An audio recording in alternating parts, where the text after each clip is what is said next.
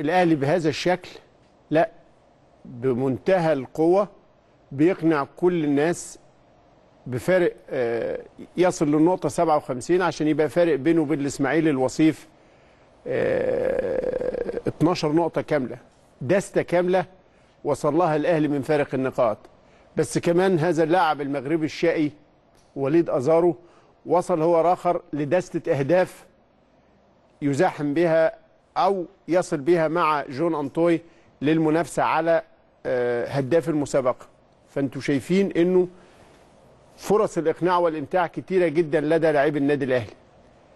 كابتن حسام البدري يقود المسألة زي ما قلنا لكم من كام حلقة بخبرة عالية جدا وبتأني شديد. عشان كده أنا استغربت جدا إن البعض بيتكلم من الزملاء الفترة اللي فاتت الأهلي مع أي حد بيكسب دوري؟ ده كلام يعني الحقيقة بيقلل كتير جدا. آه الأهلي خد بطولات مع كل المدربين بس ما هم دول مدربين.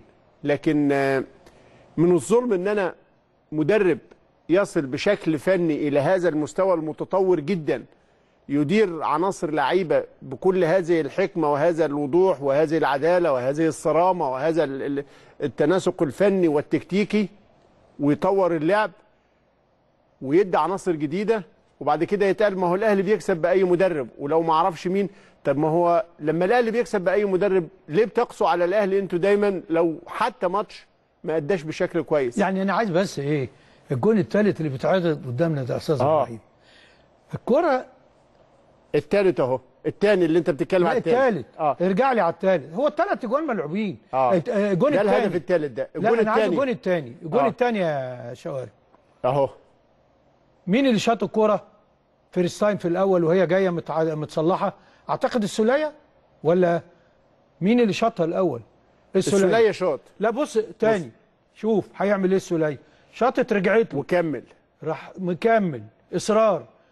بال head. حوار بال- بال head. حوار. first time حوار ما نزلتش الكره عم- على الأرض. كرة طايرة. من ساعة ما لعبها. آه. المدافع.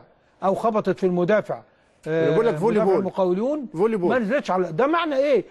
إن الكثافة وطريقة الارتكاز بتاعه لاعبي النادي الأهلي في ال 18 خلاص في نهم إنك تجيب اجوان وفي إصرار ورغبة شديدة جدا. تعكس الحالة البدنية والحالة المزاجية رغم الإرهاق الشديد الذي حذر منه حتى وكابتن حسام يفوز ثلاثة على الاتحاد ثم ثلاثة على المقاولين ها؟ قال لهم ما تفتكروش إن أنا يعني سع... ما معناه يعني إن أنا سعيد و- وهقعد أكلمكم بقول لكم ما يحدث شديد الخطورة على الكرة المصرية لا يمكن تتالي المباراة بهذا الأمر.